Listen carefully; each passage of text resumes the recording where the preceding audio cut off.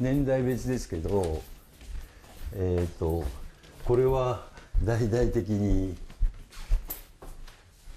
えー大きくしてもらったやつで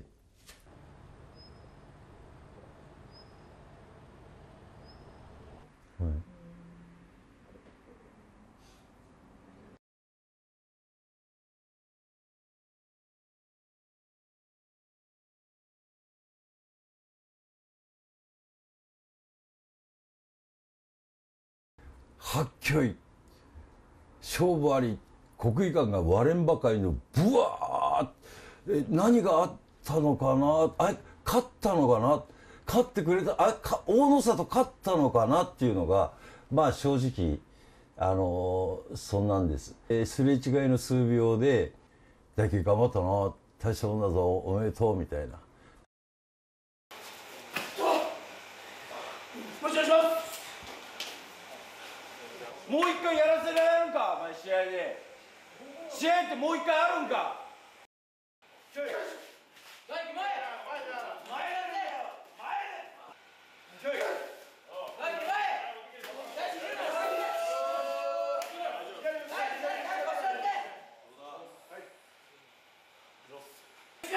小学6年生に大野里がなりました金沢の全国歌津山である、えー大会に土俵際までパンフレット持って鉛筆持ってえっ、と毎試合毎試合を記録してる少年がいたんですよ。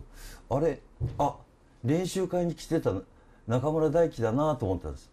私ももうピピピーっとあこの子は相撲好きなんそんな小学生いないですよ。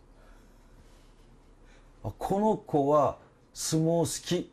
あとなんかこういうこうレールに乗せて本当にちょっと厳しく、えー鍛錬稽古を積むと大きなもんになるぞとか実はここの入学前から思ってましたね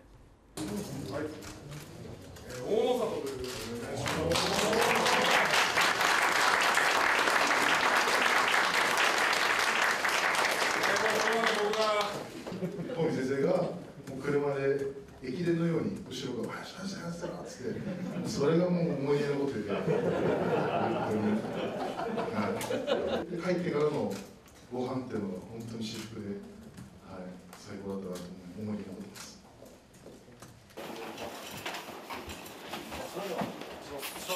よいしょ。いきます。いきます。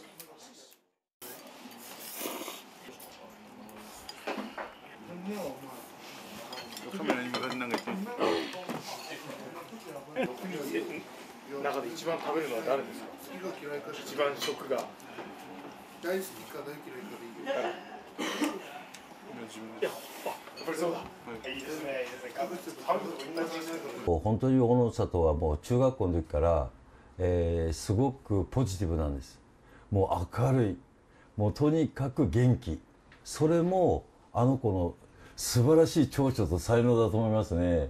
私もあの6年間長所だけあのそんなね、ここが悪いここ直しなさいここダメだよっていうのは向いてないんですよ、えー、と中村大輝には 大野里には。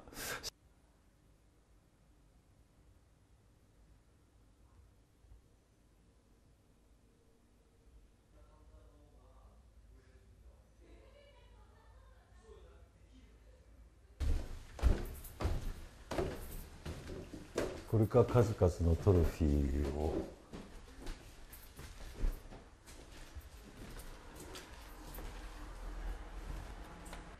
でこれも200キロまで大丈夫だぞとかっていう、えー町の大工さんがあの作ってくれたベッドですね。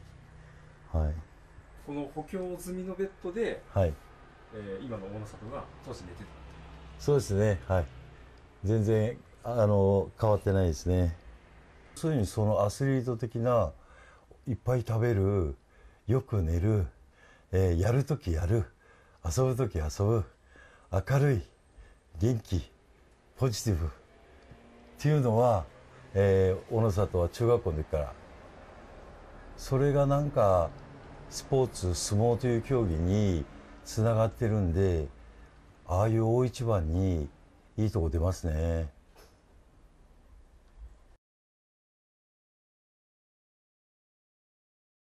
大野里に今後期待したいことっていうのは改めて最後に。そうですね。えーっと今のままでいいよと。大輝今のままでいいよ。今のままで、えーっと本当に二所ノ関親方からあの可愛がられる指導を受けて昨日もちょっと親方から笑うなって言われたっていうコメントがあったんですけどいいっすね。いいんですよ。そういう厳しい中で生ぬるいところじゃなくて、えーもう今のまんまでいいですよ。